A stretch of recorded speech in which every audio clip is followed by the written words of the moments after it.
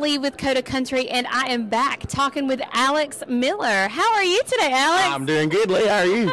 I'm good. Excuse my reach. I feel like we're Uh, just. uh, it- it's all right. no, no, no. Um, and I will say, I'll, I'll give you a little bit of um, personal information. I was doing my research on CRS because this is my first time, but I saw that this is not your first time at CRS. Oh, I've been here, uh, I think, about uh, three times now. So, yeah, Three yeah. times, yeah. I caught an interview. I think it was maybe with Center Stage Nashville that you did in the Yeah. past. So thanks for coming and doing this interview with me. Oh, no problem at all, Leigh. My pleasure. Great. Let's talk about your um, current charting single, "Putting Up the Hay." Well, this is a song that I wrote with the guy named Larry Cordle and Jerry Salley. I mean, I grew up on a farm in Kentucky, so I wanted to do a song kind of about that. Now, I will say, Leigh, we didn't have no Daisy Bell on the farm like they do in the song, Right. but uh, we had a lot of fun out there on the farm, and I think that's why the song has resonated with people. Uh, it wouldn't have been my first pick uh, as far as a song that's doing well for me, but uh, I'm so glad that it is, and thank you folks for listening to it.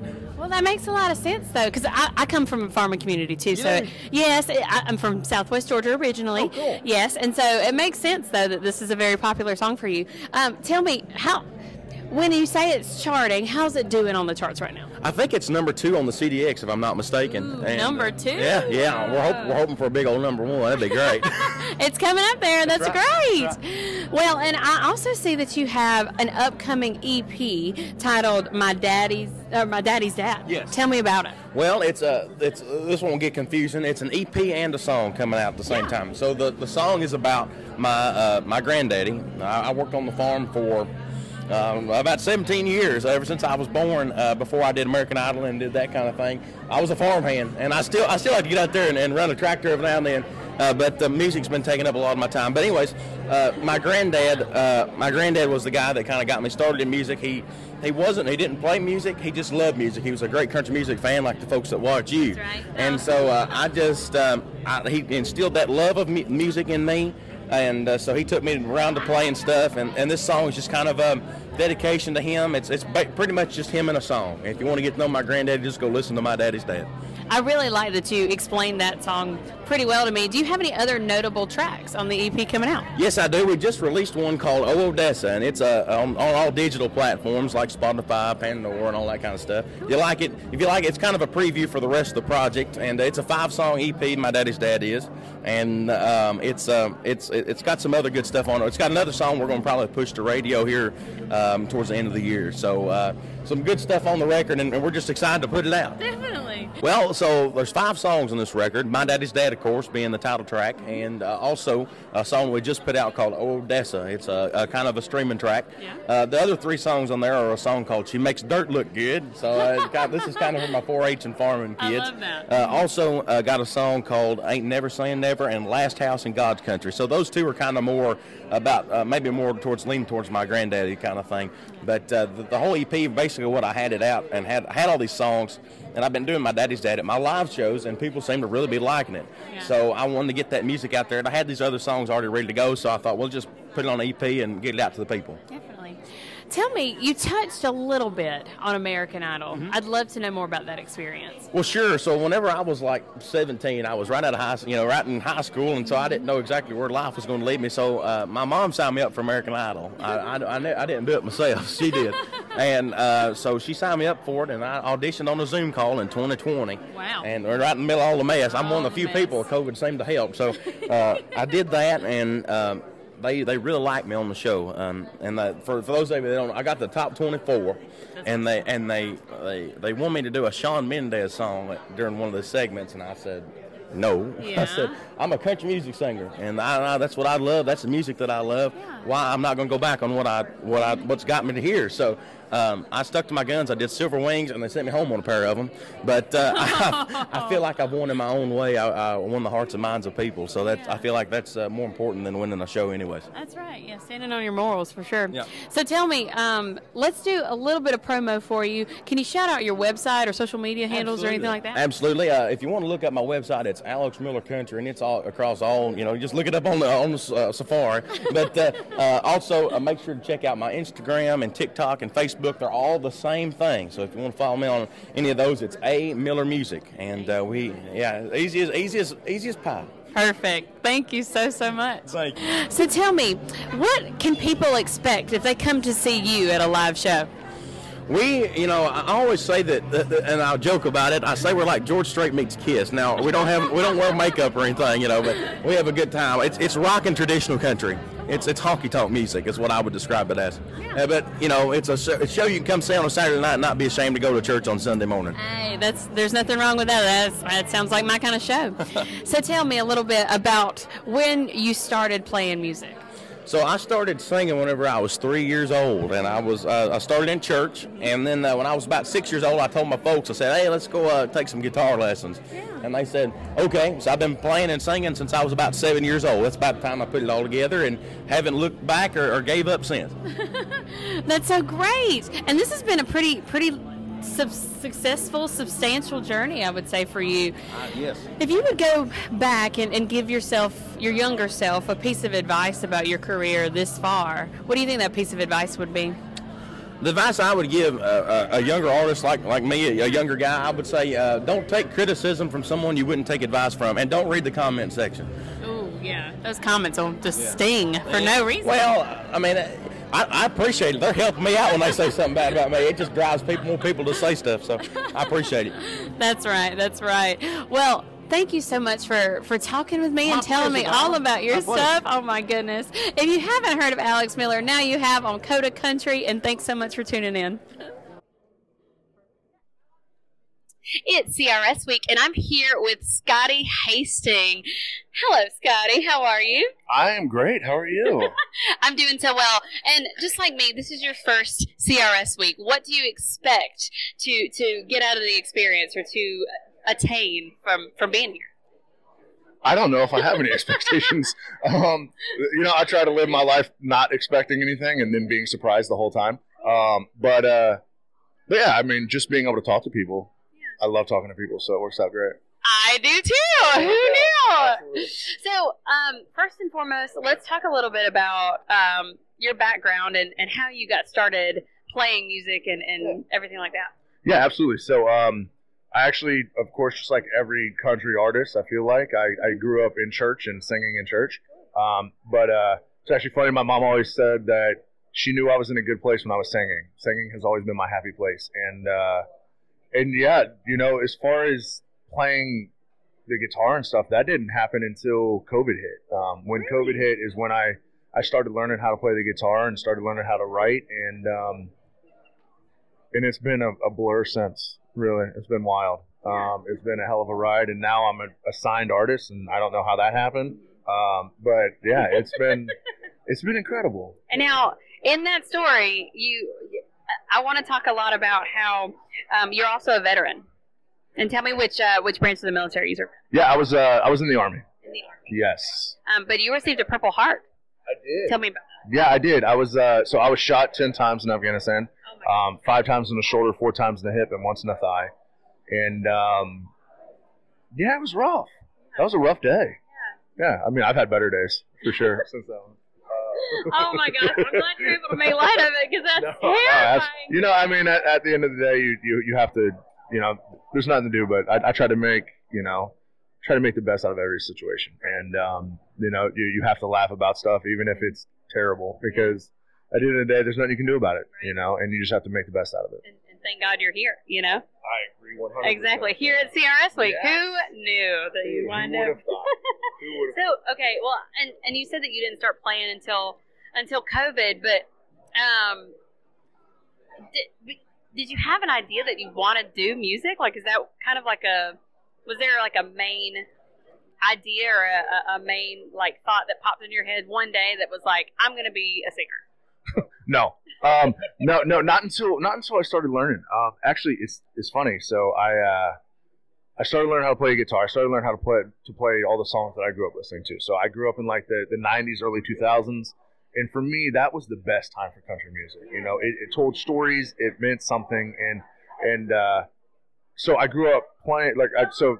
I started learning how to play, and I, I I started learning how to play all those songs, and then I was like, man, I have all these thoughts and stuff like in my head, like you know, I just learned how to play the guitar from YouTube. Um, I can probably learn how to write using YouTube as well, and uh, so I did that, and then eventually Nashville started opening up again, and there was a there was an open mic night, and uh, I went and I played the first song that I ever learned how to play, which was "Should Have Been a Cowboy" by Toby Keith, of course, because oh God, rest in peace, man. Such a such an icon. And uh, yeah, and um, so I played that, and in that moment, I was like, this is what I need to do forever. Um, you know, it's you know, I I have done things since since getting shot, and uh, since you know, you know, I suffer from PTSD, depression, and anxiety, and I've always I've, I've always found something that kind of gave me an escape and a and a purpose. Um, before music, it was I was shooting archery with the U.S. Paralympic program, so I would travel all over the country and shoot archery professionally. Wow. And uh, wild. and uh, so I, you know, I found I found a, a new escape and a new purpose in playing music on stage. It was like it was like that escape in that peace, but it was magnified a hundred times. And I was like, this is this is what I need to do forever. Like it became it became this I this this sense and this that that I, I, I kind of obsessed over and needed. And uh, so so much so that I bugged the crap out of everyone in Nashville to let me on stage for three to four hours at a time. Because for three to four hours at a time, I had complete peace and I had I had an escape from all the crap that I deal with on a daily basis. And I live for those moments. And now it has become a career where now it's not only am I playing music on stage and, and connecting with people, but now I'm also able to help other people find that sense of purpose and that peace the way that I did um, in my music or in, you know, just trying to help somebody with, um, with giving them the, you know, hey, look, look at what I'm doing. Like if I can do this with my my messed up hand, then you can do this. Like there's there's nothing that says that you can't go out and do whatever you want to do. And uh, and if anyone can take inspiration from me, do it. Like I mean, heck yeah, I've been through some crap, man. Like let, let me uh, if, if I can use it in some way, shape, or form to make to you know help somebody, give them hope for the future, or to make them you know decide like I'm gonna I'm just gonna do it. I'm just gonna try it, and it helping them in the better. That's that's all I've ever wanted to do, and for for you know to have a platform now to be able to do that, it means more to me than anything. Yeah. Well, let's let's talk a little bit about your single that you have called "I'm America," because um, there's a lot of really poignant lines in there. I want you to kind of bring to the forefront some really important messages that you have in that song. Yeah, so I I fell in love with that song the moment I heard it. So that song was written by Phil O'Donnell and Wade Kirby, and um, I heard it and immediately, like I said, I, immediately fell in love with it. I was like, um, you know, every line of that song is the reason why I joined the military. Um, it's I love that song and it's such a beautiful song because it it doesn't pick a side. It's not left or right. It's about us as a whole. It's it's truly just a song about the beauty within this country and the and everything that makes up this the, the beauty in this country and which includes the people. Um, and I think that that the idea of just taking a step back and seeing how beautiful this place actually is and remembering that we're in this together you know that we are all we have and uh, you know, I think that that that it's such a such a powerful song in the sense that when I listen to it, it makes me want to kind of take a second and look around and see everything that's out there. And and it's it's man, it's just such a I knew the moment I heard it, I was like, listen, I have to be a part of this. I don't care what I have to do. I'll learn how to record. I don't care. um, I, I want this song. And uh, because, like I said, I mean, this is that, that song is why I joined the military. Every line of that song. I mean, I, I joined the military because I love this country and I love the people in this country. And, uh, and that was, yeah, and immediately I was like, yeah, this is, this is now my song. I want this song. I don't care what I got to do. I want this song. And, uh, I love it. I love it. And it's such a rocking song. Yeah. It is. Awesome. Yeah. Awesome. That's great to hear. So, before we started the interview, you talked to me a little bit about where you were yesterday, which was DC. Tell me about the performance that you put on there. Yeah, so it was um, it was a performance for the VA Experience team. So um, the VA Experience guys are the guys that when you go to the VA, they send a, a survey afterwards to say, you know, how was your experience? Um, you know, it's a very overlooked part of the VA. You know, it's the, the, these teams are dealing with, um, you know, the the a lot of negative in, within the VA. They're dealing with trying to fix the VA, which is so important. Um, and it was just it was great because most of them are veterans, and it was it was amazing to be able to. We did like a little writers round. It was me, um, Doug Johnson, who is one of the greatest songwriters of all time. He's a mentor of mine and uh, just one of my best friends. Um, and Tommy Carlos, who is an, another incredible songwriter. And um, so we did a little riders round, and it's just you know, veterans are where my heart is. If there's something that I can do for a veteran organization, I want to be a part of it. Um, that's that's just I know how much these organizations, including the VA, have helped me, and I want to be able to support them in their mission to help veterans like myself. And uh, and yeah, what I, I it's so hard for me to say no to a to a veteran organization. uh, it's so because I want to do something for them always. Yeah, always. Yeah, absolutely. Oh, and I feel like in in the same regard, you, you've given a lot to your country, and it's you know, in hearing "I'm America," um, it seems like your country has given a lot back to you, and so doing as much as you can with veterans organizations like CreatiVets or Guitars for Vets and and that kind of stuff. I mean, that's you know, that's a great way to give back. I mean, it's you know, it's where my heart is. You know, I mean, it really is. It, it's easy to uh, to stand behind a uh, some organizations that you know have my heart and uh, and the veterans will always be that you know it, it, that'll always be where my heart is and it'll always be who I want to help support and um, who I want to help understand that you can struggle and still be successful and you can struggle and still move forward and um, I kind of hope that a veteran you know who is struggling will see me out here doing some crazy things that I never thought was possible and that was never even a dream of mine, and hopefully they take something from that and decide that they want to try something for themselves as well. And uh, and at the end of the day, from the very beginning, that has been my mission from the beginning is to just give people hope and to help them understand that they can they can do whatever they want to do. And uh, yeah, I absolutely loved hearing about your message today. I think that um, this is a very much a surprise on my schedule, and so to get you to come and sit down and have this conversation with me was very eye opening. And so I thank you for taking your time to, to tell me everything about you. This is amazing. Yeah. You so thank you. you just heard it here with Leigh and Coda Country. This is Scotty Hasting. Y'all have a good day. Thank you so much. We're here at CRS, and I'm joined by Alee. Oh my gosh, I have been waiting to talk to you forever. it seems like. How are you? Amazing. A little exhausted, but amazing otherwise. and you were just telling me that you have a write plan this afternoon. Tell me, what's it like working as a songwriter in Nashville? I mean, crazy because if you think about it, the brain never stops when it comes time for songs. So like I was out at 2 a.m. last night at Red Door and I was like, ah, song idea, and it just it always goes. It's great. It's awesome. I love it. I missed my invitation to Red Door, but that's okay. I'll forgive you. I'll forgive you tonight. Next time. Yes, yeah, next yeah. time. Or tonight after the after the musical, we'll do it. Okay, so tell me about time for that. I can't wait to hear about this new single. Oh, thank you. Um, it's the whole idea of you remember that meme? Ain't nobody got time for that. Yes. Okay I say so, it on the daily i feel a hundred percent.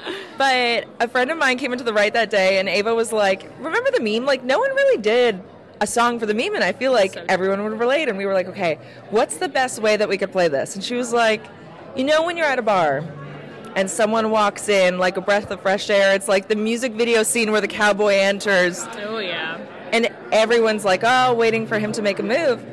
Ain't nobody got time for that. So you know, it's just that whole taking taking things by the reins and taking your moment while you got it. yeah you dropped the name ava are you talking about ava Paige who's your writers on that No, Ava Suppelsa and Joe Town. Joe town. Yeah. Very cool. Okay, so and is this coming? Um, I know that we're like talking about some things being a little secretive, but I did want to talk about your album announcement. Is this going to be on your upcoming album? This is going to be on the album. There, it's we literally just finished vocals on Monday for the rest of the album, and photo shoots next week. And it's just kind of crazy how everything's coming together very quick. But um, it's a fun. I won't give too much away, but it's a fun storyline of going through love because I'm a huge fan, a sucker actually for a breakup song. Yeah. Always have been. There's just something about a breakup song that I feel like everyone relates to Mm-hmm. in some way, shape, or form. Um, but going into this project with a new producer, he was like, You're a very happy person. I feel like you need some happier songs in your life. And it really pushed me to create an album fully around happiness of yourself and love and coming into your own in life. And this album kind of goes through the whole storyline of that. Oh my gosh. Well, and can I give away the title? Is that okay? Let's give it away. Yeah, okay, so this title is called Love Again. And it's not just love again, it's love, comma, again. I feel like the comma is very important. Tell me. It's super important because I think we got to the point where also picking songs for this album there's numerous titles that have love Yeah. in it, and I was like, I'm not gonna make that stop me from picking a song just because we're gonna have love in it a lot. Yeah. Um, so Love Again was literally the last song we wrote for the album, and I was like, I was just talking one day, and I was like, you know, it's it's another love song again, and I was like, Love Again. That's again. and I, ju- I don't want to give away too much of the, the hook for this song because Oh, it just it means a lot to me but um, again it goes through that whole idea of healing and coming through life and i'm just a believer in things happening for a reason and sometimes you have to go through the heartbreak to get to the next one to get to where you're meant to be Oh my gosh. Well, I can't wait to hear all about that album and every song that you have coming up on it. Oh my gosh, this sounds great. So, okay, before I get you out of here today, I did want to ask you one question that I've asked pretty much everybody. okay Now, knowing the career that you've had so far and the career that you're going to grow into even more and more, right? Tell me if there was a piece of advice that you would give your younger self or even like an, an up and coming artist, um, what do you think that piece of advice would be? jump. Take the leap. I think again to you know what i was saying earlier? Every mistake is what gets you to where you need to be.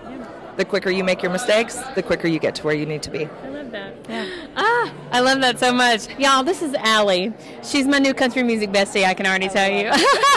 and I'm Leigh, and you just heard from her on Coda Country. Thanks so much. Thanks so much for tuning in. Now with me, I have Waylon Hanel. Thanks so much for sitting down and, and chit chatting with me today. Of course. Thanks for having me. I'm super excited. Yeah. Super excited. So let's talk about this new single that you come have have coming out on Friday. It's uh, "Lighten That Load." Tell me a little bit about that song. Well, I uh, my co-writer on this song, his name is Bernie Nelson, and uh, for those of you who don't know Bernie, he is a multi-million platinum songwriter. Man, he's written hits like uh, "Daddy Never Was Cadillac Kind" from uh, from Confederate Railroad, and uh, just being able to be around him and learn stuff from him, you know, and steal as much as I can in quotations. Yes. It's uh, it's Borrow, exact borrow.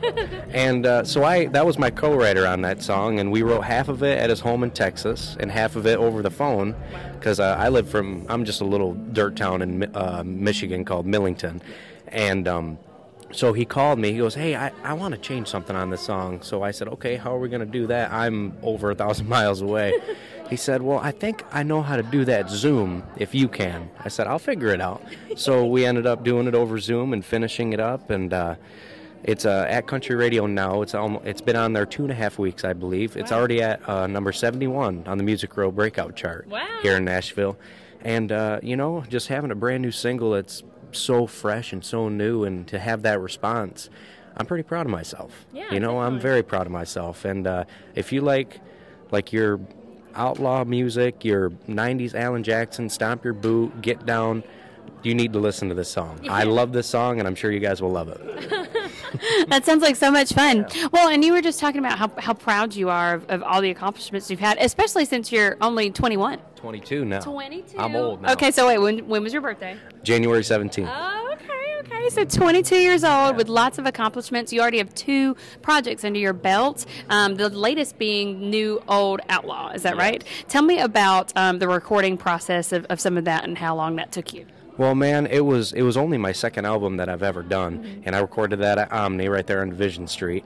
And uh, it's just it, it was so cool because I was always intimidated about going in the studio and thinking I have to do everything perfect. It's nothing like that. You know, you come in, you have fun. It's not work to me. You know, and I just have a bunch of fun in there. I do my thing. I talk to everybody.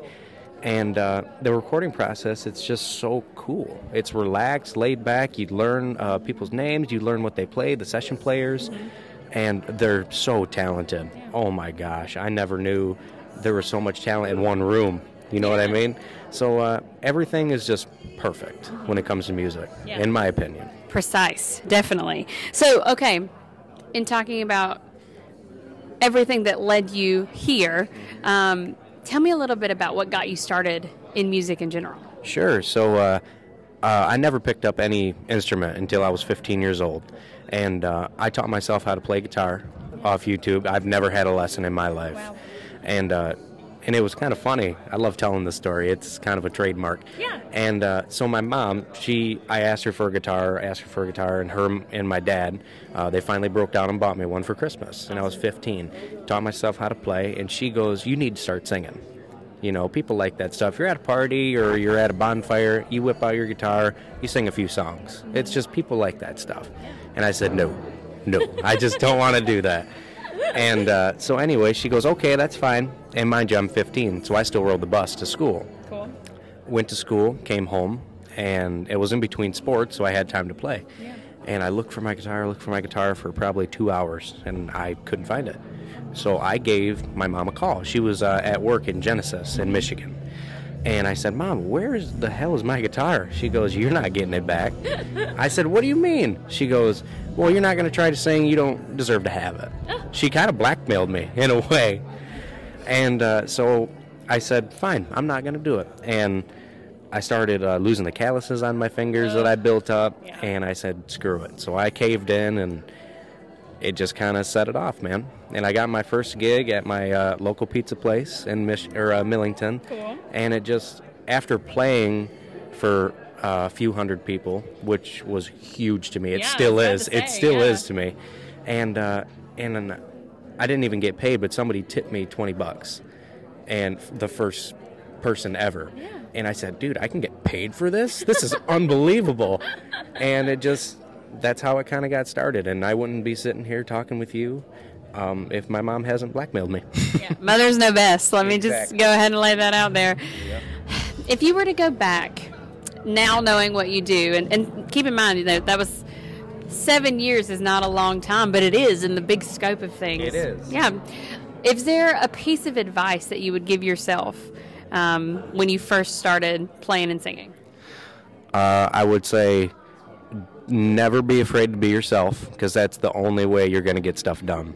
Is if you fake it, you know that saying, fake it till you make it? There's a reason why when people make it, when they fake it, everybody kind of sees through that. So always be true to yourself. Don't let anybody hold you back. And don't be afraid to do things your own way because that's how Waylon Jennings, Willie Nelson, George uh, George Jones, Johnny Cash. That's how they all did it. They did it their way, and look, they're the biggest superstars ever. Yeah. And those are my idols, and uh, I live up to that. And I don't I don't like to be anybody but myself. right. I'm comfortable with it, and I'm I like to have fun. Yeah. and that's a great way to be. Listeners out there, thanks so much for tuning in. You just heard from Waylon Hanel. Thank you again for coming on the show today. I'm here with Boomtown Saints. We have Chris and Ben, and congratulations are in order. I'm hearing because you just received Music Row Magazine's Independent Artist of the Year award for 2023. Congratulations! you. So, okay, so what is? Tell me what all that entails. Like So, uh, independent artist by radio is somebody who does not have a full-time job. Uh, so, every major label has a full-time radio pushing. Our record label uh, not have a. We do have a team behind us that are amazing. Um, and so, we were the most fun uh, artists that did not have a full-time radio team for 2023. Yeah, especially like with your songs, Blacktop Dome, Go to Heaven, everything like that. So I will say too, you also were the recipient of Coda Country's Duo of the Year. Yes, yes, so sir. yes, Yes. oh my gosh. Well, and that's all that's all fan voted. So the fans out there really love what you guys you guys. do. Thank you guys. Yeah, yeah, well, and we, we've been talking back and forth for a long time, you know, and I'm, I'm so glad I finally get to put the, the names and faces together, and it's awesome to meet you guys. So, okay, tell me, you have uh, your debut EP came out in June 2023, including those songs that I just talked about, but you have new music coming too. Tell me a little bit about uh, Good Day to Get Going. Um, and it's, it's one of those songs. It's actually now our opener for MCS Live. It's the song I open with. Uh, we never really had a true up-tempo driving song um, that you would run to or work out to. I mean, Blacktop is actually a mid-tempo. Yeah. Um, and so this song is kind of just pushes the tempo. It's a very positive message. Uh, imagine driving through the you know back roads, top down, sunny day. That's the song. Perfect. Um, and you guys wrote it together? Uh, so actually, some friends of ours uh, sent us something to us like, "Would you be interested in something?" We were like, uh, "Yeah." Yeah. We, we've always we've always had the philosophy of you know like we write five songs, somebody brings five songs, these five songs are better than ours. And we're going to cut this because, because but they also have to make us feel something. Because if they make us feel something, we know it's going to be something. Yeah, we, we have another song that was with the intention that it might actually be the next single song. We actually wrote that with some friends of ours, uh, Philip, uh, Philip Whiteley, and that's the song. It's um, all the little things that make the American dream real. So everybody thinks it's, you know, the American off the world. No, the American dream is your home your family. You have something, to eat, you have a job, you're happy, you get to go home at night, you know you're in a free country. Uh, that song that we, we wrote with them, and also the know in the next four days between. No, that's awesome to hear. Just 'cause I, I'm ready for new, new music. I know you guys are too. Ready to put it out there and, and start it going to radio and, and streaming and everything like that. So, okay, a couple personal questions for you guys. I know, not too personal. That's personal. Um, now knowing what you do as the artist that you are, um, if you were to go back and give yourself some advice back in the day before you started playing or singing or anything like that, what would you say? Oh, oh. Don't do that, man. That's a, that's a advice. Just a blanket don't. Unless somebody tells you. No! Oh my gosh. One, one of the biggest things I would have, if I was telling my younger self, would be like, follow the follow the system that was laid out. And then if you can, break away from the system a little bit, do your own thing. Just get all the patterns down, and just keep driving. Um, I think mine was the same two things like the artist's ask. Like, what good advice? What comes to ask? What good advice would you give? It's the same thing I tell myself then. It's two things. Um, the first thing is there is a method to the madness in this industry. Um, every now and then you have a mistake, Golden Wall that changes the game, and everybody sees them the same. It's a perfect example. Everybody sees him as oh, that's what you do. But it works for them. People don't realize how many years went into refining exactly what they do. You can't just step in and be them. So people try to emulate what they see, it's not the case. Is actually a, a baseline you have to have. That's one. Uh, second thing is, in this industry, helping somebody else out doesn't stop you. Yes. It does not stop your growth. Helping somebody else out, actually, I mean, the perfect example is look at and Danny Wilson, all these guys that are together now. They knew each other a decade ago, and they came up through the ranks. Uh, I'm not saying that happens for everybody, but help other people out. Um, it, it, it, not only just for the karma of it, God looking out on you being like, take a job, but it might help your career out in the future. It does not hurt you to help other people. Yeah, that makes a lot of sense though. Because people if you have a yeah, if you have a good little group of people that you can The biggest thing I know is, Chris, how long have you been doing it? a long time. I really don't know. It's been a long I told, I told this to my wife last night when we got, we got the magazine song and we got the award. Wow, 12 years. Wow. 12 years. That's awesome. So it's like, just, just don't stop. Keep up the grind. Keep going. Definitely. Well, talking about the grind, what's next for you guys? I know that you're talking about releasing new music, any live shows coming up. What's going on? Yeah. We're trying to get out this, this summer, this fall schedule, and get out, start in April, and just hit the road as hard as we can. with some new music. Awesome. Any new spots? Any new venue spots that you guys are heading Yeah, so we get to go. Um, we, get to go to Canada um, briefly. Uh, we are going to South Dakota. Last year we got, got to check Alaska off the list. Um, we're Nebraska. We haven't been Nebraska yet, and I think once we get through what we have on the schedule right now, we're down to have like three states that we haven't played music. Anybody in Hawaii? Who wants us to come out and play? We Can I also go? yeah, I mean, with no problem, it would be a perfect show. Whatever. We'll be willing to talk. Absolutely. Guys, you just heard from Ben and Chris of the Boomtown Saints. Thank you so much for tuning in, and thank you guys so much for doing this interview today. I'm so glad that you guys could, I could finally meet you. So, thank you. Yeah.